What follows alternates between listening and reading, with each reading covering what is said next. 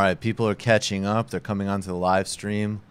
Uh, very informal introduction for not a topic that I can turn. I can turn most topics into messing around material. This one is tricky, but we're talking about Kashmir with uh, Murtaza Hussain. He's a reporter and columnist for The Intercept, one of the most important voices in international affairs, Middle East, South Asia. Good friend of mine, Murtaza. Thanks for doing this. Thanks for having me. So, Murtaza, briefly, I guess, can you give us the sweep here? What has India done in Kashmir? Uh, and how does this flow back to the history of independence from the United Kingdom, from the British Empire in 1947, and partition with Pakistan? So when the British Empire uh, was unwinding and it was leaving India, uh, it became, as you mentioned, a partition of the subcontinent into separate nations of India and Pakistan. Now, Kashmir was an unsettled uh, dispute, or the territory, the state, was its status was left ambiguous at the time of Britain's withdrawal. Uh, presumably, uh, what the intention was in the, at the beginning was that Kashmir at some point would have a referendum in which the people who live there would decide either they would have a vote on whether to either accede to India, accede to Pakistan, or become an independent nation on their own. Because Kashmir is about 12 million people, it has a very strong uh, independent consciousness and identity, a very unique place. Now, over the years, uh, there, there was intended to be a vote that had to decide this question. They kept getting kicked down the road by subsequent Indian leaders, uh, certain Kashmiri leaders who had either worked with India or Pakistan on the Indian side. Some of them found themselves uh, later on detained or coming falling out with uh, Nehru, who was the first post colonial prime minister of India. And eventually, ultimately, the vote never happened. And then, if you fast forward to the 80s, political agitation kept building up, and then there broke out a protest movement in the streets, and it was met with violence, and then that resulted in armed insurgency, and then by the early 90s, Kashmir was in a full-blown war, and that war has never really ended to this day. It's had on and on and off, but it's been one of the deadliest conflicts in the world, and has gotten relatively little coverage for the seriousness of it. About 70 to 80,000 people killed in Kashmir since the war there broke out. And uh, so the last vestige of this presumed autonomy of Kashmir was what India moved to take away the last few days. There was an article of the Indian Constitution, Article 370, which described in Kashmir's relation to India and preserved some degree of autonomy. Over the years, that practical effects of that have been grounded down. But most crucially, there was one segment of it, that article, it's called referred to as 35A, which allowed the Kashmiri state government to decide who is or is not a resident of Kashmir. Now that article has been revoked, theoretically, and what many people in Kashmir fear, feel now, fear now, is that the 1.2 billion population of India will now start being settled in Kashmir and ultimately create a settler colonial dynamic in so the this region. Would be like similar. a Tibet or West Bank kind of situation. Exactly, uh, using demographic changes to uh, alter the real political reality in Kashmir. And the thing is, with the West Bank, people make that comparison a lot. But I've been to the West Bank and I've talked to people about this. The thing is, uh, Israelis are not that many numerous, so they've had control of the West Bank for 50 plus years, uh, but they've still amount to a very small minority of the population. Whereas China, because there's such a huge population, they're able to completely subsume Tibet uh, with their population, and India is much more likely to have that type of scenario. They can swamp Kashmir with people very quickly, and because of all the bloodshed that's happened in the last few decades, there are very few people, in Kashmir are very bitter, and they're they're those voices were conciliatory towards India were becoming fewer and fewer, and now those people are actually in jail because because in the midst of this uh, move, there's been a total crackdown on Kashmir. All communications been cut off, and the state government, which is pro-India, as long as they have some autonomy, and relatively moderate on the question of India, are now all in prison. So when we talk, I just I want to actually get back to Nehru and really the contested idea of India in a minute. But the other dimension that I've heard referenced uh, to uh, to me, and I'll, I'll, cite specifically Esha in our audience, who also has a really good uh, podcast called Historically, which I really hope I'm not messing up. It's a very smart podcast. And there's this almost analogy with a place like uh, Puerto Rico in terms of the colonial relationship with the United States and Puerto Rico, and that if you strip away some of this sort of independence in Kashmir, not only does that have further implications, obviously, for some sense of autonomy, there's already very serious, as you said. I mean, the, the human rights violations in Kashmir from the Indian occupation, as well as the Pakistani role, which we'll get to in a minute, have been ongoing and horrific for decades. But that this also opens the door basically for it, you know, in some ways you could like a gentrification, a new, uh, you know, sort of uh, uh, kind of economic class to come in, gentrify, create like a kind of new ski slope economy here as well. That there's kind of a primitive accumulation economics to this as well.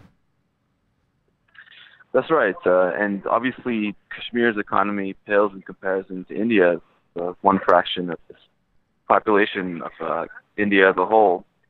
And a lot of the way that the move has been justified internally, there hasn't really been a lot of effort to justify it. But what what some uh, ruling party BJP leaders in India have said is that an opportunity to develop Kashmir economically by uh, allowing investment and so forth. But uh, certainly, the people who are going to benefit from that are not going to be the indigenous people who are as a rule, completely opposed to being incorporated within India. Uh, it's going to likely be outside classes who benefit. And yeah, it's. Uh, I think that we're going to see very tightened levels of securitization uh, and control, and that's saying something because Kashmir is commonly referred to as the most militarized place on earth. There's over 600,000, between 500 and 600,000 uh, Indian troops stationed there in a place where only 12 million people live. That's a soldier for, you know, it's a very, very high proportion of soldiers per people. And uh, you can probably see that escalating now.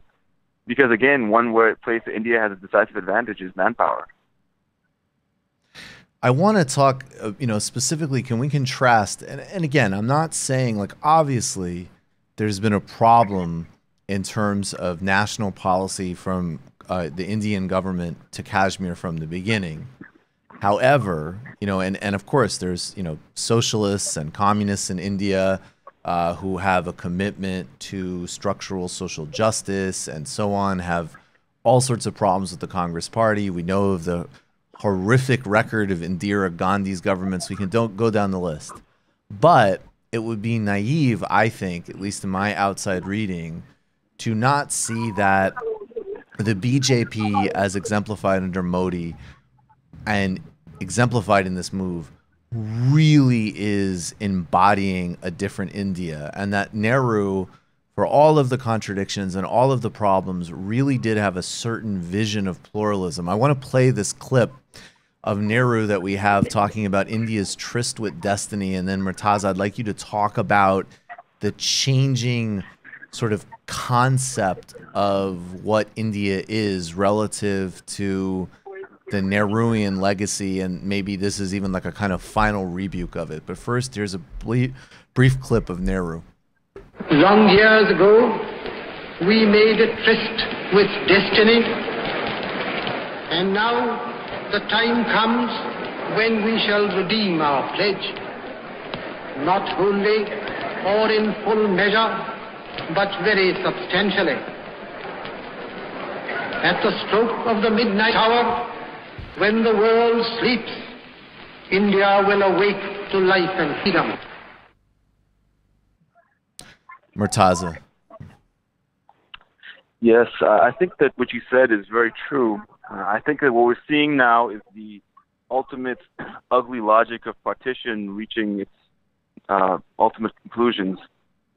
Over the past several decades, especially following the uh, uh, Soviet invasion of Afghanistan and the war that began thereafter, Pakistan has developed a very sectarian Muslim character, which did not prevail during the early decades of the country. Uh, India, both countries were intended to be secular uh, by their founders. They were imprinted a very strong secular uh, and, in some sense, progressive uh, character upon them or intention upon them. Uh, but Pakistan has gone in a very different direction recently, and it seems India is going in that direction now too. Uh, a few decades later, but the BJP government is thoroughly hostile to the Nehruvian vision of the country. They're hostile to the Congress Party for some reasons which are poignant and some reasons which should be troubling to people who care about an inclusive society. And I think that the firm repudiation of Congress and the embrace of the BJP in the last election, even in the face of the slowing economy, shows just that they their vision of the country is becoming mainstream. And I think it's a very deeply troubling vision. And the thing with India too is that it's an extremely diverse country. Uh, it, India, as a political unit, it has had tenuous existence throughout history. It coalesces during certain the rule of certain empires, and then breaks into princely states. There's very strong regionalism, and that inclusive identity is very important to hold the country together because you have there was an insurgency and a nationalist movement in Punjab and among Sikh population in the 80s, which was uh, crushed with military means. There's very strong regionalism in the south, Kerala. There is a Muslim population, which is about 15% of the population, but in actual numbers, it's hundreds of millions of people. Uh, so, failing to have an inclusive vision there it's good. It's a threat in a practical standpoint. It's a threat to the potential cohesion of India in the long term. And I think that as you see the Indian economy not reaching the very lofty goals that Modi set for it, he's continuing to double down on nationalism instead. And I've seen this in Turkey and other places, and the results ultimately are troubling. What about in the last couple of minutes? I mean, what about the Pakistani role in this? Uh, Pakistan has, you know, there as in so many of the cases, there's the the situation of people actually inside the occupation dealing with their own aspirations, oppression, uh, and and desires, and so on. And then the Pakistanis have their own nationalist impulse, their own sort of humiliation about Bangladesh, where they committed their own, you know, uh, genocide. I would say in the early '70s, uh, and they've used. They've they've certainly funded terrorist groups. They funded you know different types of areas as sort of like different um, as a kind of strategic pinprick on India in this sort of like ongoing tit for tat that in some ways defines Pakistan more than it defines India, though it defines India too.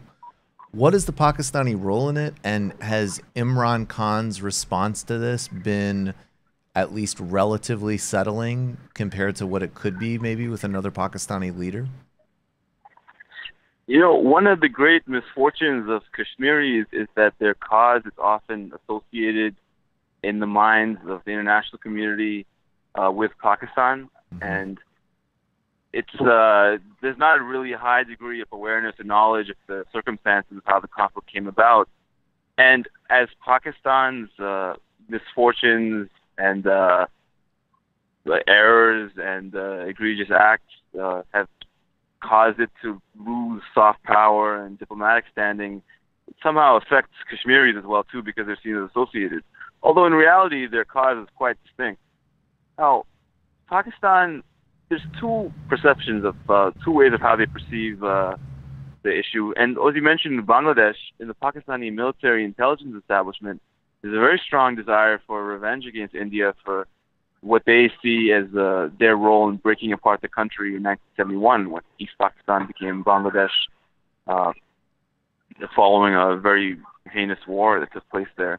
They would very much like to break Kashmir off and settle the score in that sense. This is really more about their own interests than about Kashmiris. But then also, in if you go to Pakistan, the biggest refugee population, although Afghans are a very big population now too, has traditionally been Kashmiris. Uh, mm-hmm. They're all very well represented in the cities and elsewhere, and there is it's very touches people's national sentiments very closely. It's tied to partition. Uh, Kashmir is a repository of high culture generally, so the people it has a very important place in people's hearts. Now, Imran Khan, he came to power he on a very optimistic vision both economically and politically, and including the future of India's relations with Pakistan. And he's seen now, unfortunately, that uh, the reality in all those fronts is not as Panglossian as he laid out. He inherited really a very dysfunctional economy from his predecessor, Nawaz Sharif. He inherited a very difficult diplomatic position of Pakistan vis-a-vis the world. And he's repeatedly said that the election of Modi would be good for Pakistan, but I think that underplays the changes that have happened in India that you mentioned early on. It's not the same India that existed 10, 15 years ago from a political standpoint. And the Modi government, uh, and if you watch Indian media actually, anti-Pakistan sentiment is a very powerful political currency. And there's not really a desire to talk or reach an agreement with this and in the past, it's really been the Pakistanis who have not been willing to talk, but uh, now it's really, or not substantively at least. And now it's really roles have switched. And as you mentioned, Pakistan has engaged, used extraterritorial groups, uh, militant groups, to try to antagonize India or inflict death by a thousand cuts, as you mentioned. This strategy has been a product of Pakistan's paranoia towards India. They feel that they face a much bigger and more powerful military rival and a bigger, more powerful country generally. This is also what led to them developing nuclear weapons. It's very much backfired though because it's caused Pakistan to be associated with terrorism, terrorism which has blown back on Pakistan in a very big way, and it's ruined the diplomatic soft power which could allow them to raise the issue of Kashmir on which they actually have a point uh, in international fora. So I think, unfortunately, there's little that Pakistan can do, little that Imran Khan can do. My main concern now is that a war does not break out between India and Pakistan over the small portion of Kashmir that Pakistan controls. Because one thing that has not been noted is that the Modi government in in the past has very clearly said that they're going to quote unquote take back that part of Kashmir. And if that happens, there's a very real risk of a conventional war, which India would prefer, escalating into a nuclear war if Pakistan begins losing significant territory. Well, hopefully, in this case, uh, I mean, obviously they're aligned with Pakistan, but I'm thinking like, I mean, it's not going to come from here, so maybe some Chinese mediation. But um, on that note, Murtaza Hussain, have a good flight, brother. Thank you for enlightening us. It's extremely disturbing. Thank you for having me. But people need to know this. Uh, I really appreciate your time. Obviously, uh, links to all the ways you can find Murtaza on Twitter. Read all of his writing on The Intercept. Murtaza Hussain, thanks so much. Thanks for having me. Always a pleasure. Okay. All right, folks. It's always a pleasure, too. Um, folks, uh, hit us with a super chat donation that helps everything move along. If you're new here, click subscribe, and we'll be back in about 15 minutes for the main show. We give you so much content. Richard Wolff is the guest tonight. See you soon.